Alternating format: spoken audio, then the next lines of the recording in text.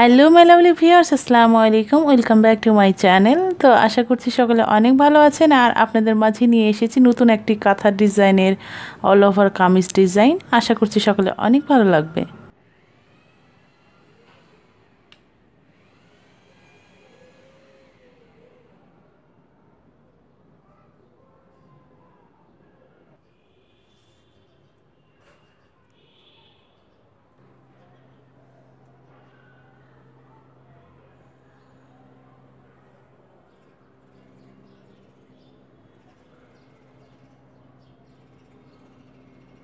তো এটা হচ্ছে পাড়ের ডিজাইন, খুব সিম্পল করে পাড়টা করেছি। আর কাঁথা স্টিচের এটাও একটা ভেরিয়েশন, খুব সিম্পল।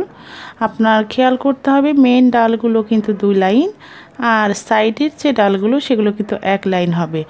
এই একরকম ফাঁকিবাজি কাঁথা স্টিচের মতো, খুব কঠিন না।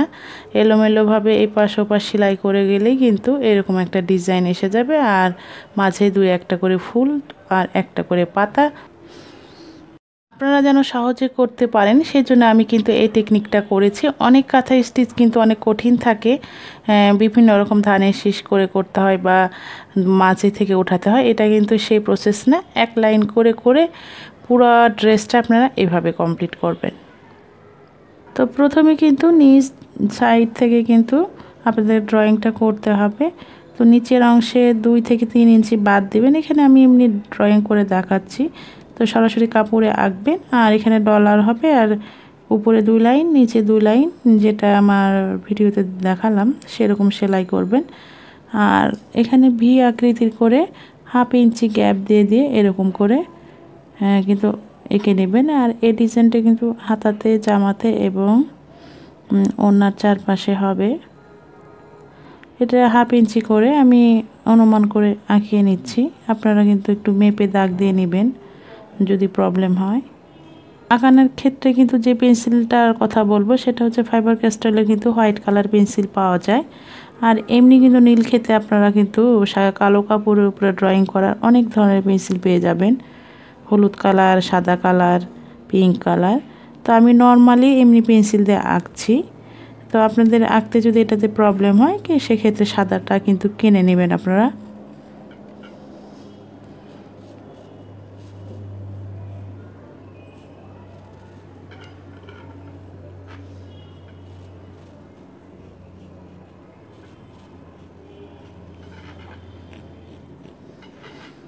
আমি সরাসরি টেবিলে আঁকছি তো, ওই জন্য কাপড়টা একটু নড়াচড়া করছে। আপনারা যখন আঁকবেন, কাপড়ে সরাসরি নিচে কিন্তু একটা পেপার বিছিয়ে হ্যাঁ আপনারা কিন্তু এইভাবে আঁকবেন।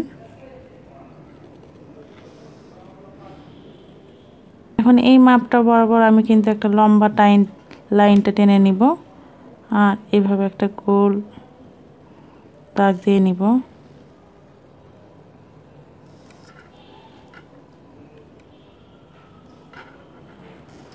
আর ভিতরে কিন্তু একটা করে পাতা হবে এটার।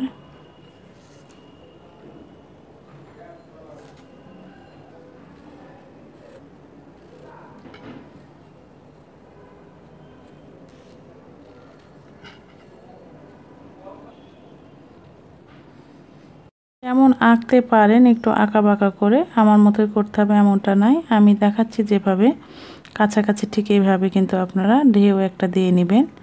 তার পাশে কিন্তু আর একটা চিকন করে মানে খুব দূরত্ব রেখে না কিন্তু কাছাকাছি একটা, এভাবে আর একটা ঢেউ হয়ে যাবে। আর ফুল আর পাতার পরিমাণ কিন্তু খুব কম হবে। তো আমি আগেও বললাম, টেবিলের নিচে কিছু দিইনি, দেখে কাপড়টা খুব নড়াচড়া করছে। তো যাই হোক, এখন কিন্তু এরকম আঁকানো পাকানোগুলো কিন্তু খুব বেশি হবে।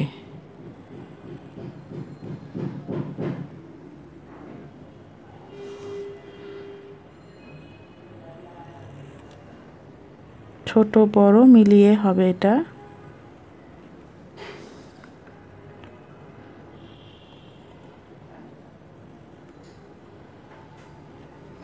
যখন আমি ফুল আঁকবো, তখন কিন্তু ফুলের ডালটা ওই দুই লাইন হবে, এক লাইন না কিন্তু। তো ঠিক এইভাবে করে বৃত্ত করে খেজুর ভরাট বা শাটিং ভরাট দিয়ে ফুল হবে।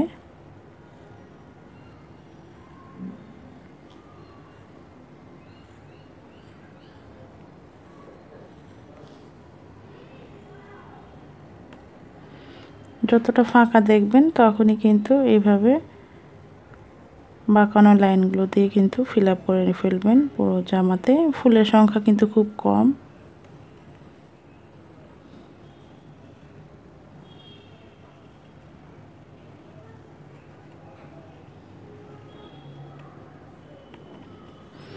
এটা কিন্তু দুই লাইন হবে পাতাটা।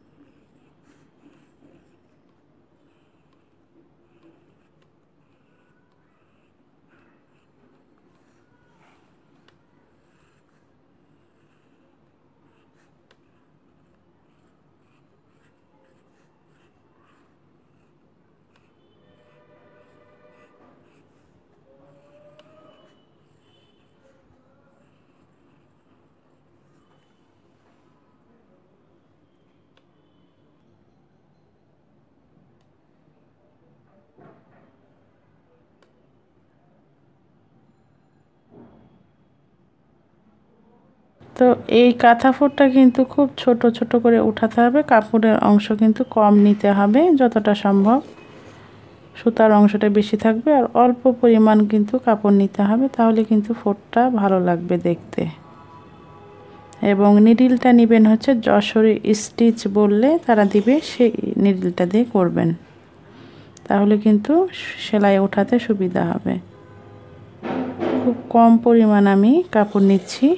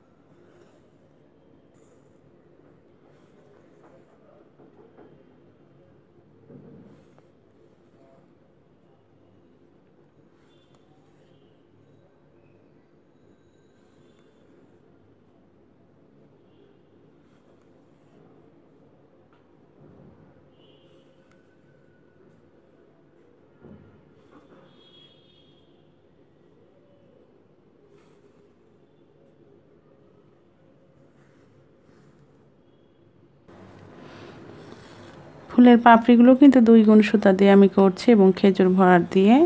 সম্পূর্ণ কাজটাই কিন্তু একই নিয়ম এবং দুই গুণ সুতা, সুতি সুতা কিংবা উল সুতা খুব চিকন না পেলে মোটা দিয়ে করবেন না। চিকন যদি পান তাহলে কিন্তু সেটা দিয়ে করবেন।